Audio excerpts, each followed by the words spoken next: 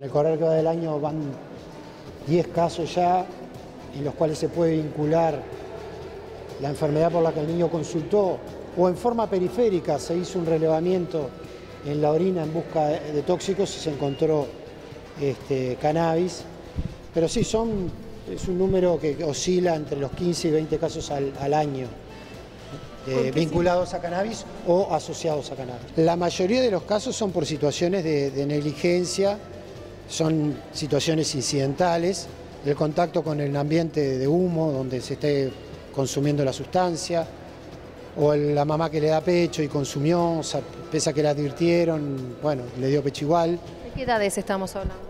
Desde lactantes hasta niños de primera infancia, la mayoría de las veces menores de 5 años. A veces también pasa que la gente fuma y deja en los ceniceros o arriba de la mesa colillas de cigarrillos donde hay un poco de marihuana y los niños pasan, la manotean y, se la, y la ingieren, ¿verdad? Sucede lo mismo con el alcohol. Un vaso de alcohol que queda arriba de la mesa, un niño chiquito va y se lo toma. Tenemos una constelación de intoxicaciones a las cuales también tenemos que hacer cuidado, ¿verdad?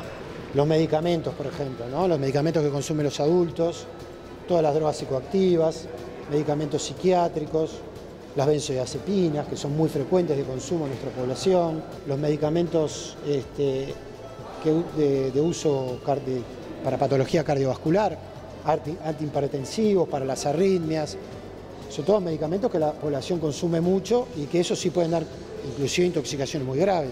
Pero también puede ocurrir con los cáusticos o los productos de limpieza que hay en el hogar. Por eso creo que una de las cuestiones prácticas de todos los médicos que atienden niños, pediatras, médicos de familia, médicos rurales, es entrenar a las familias o compartir en el hábito de crianza que cuando el niño empiece a deambular, tener mucho cuidado con las cosas que los niños tengan al alcance de su mano.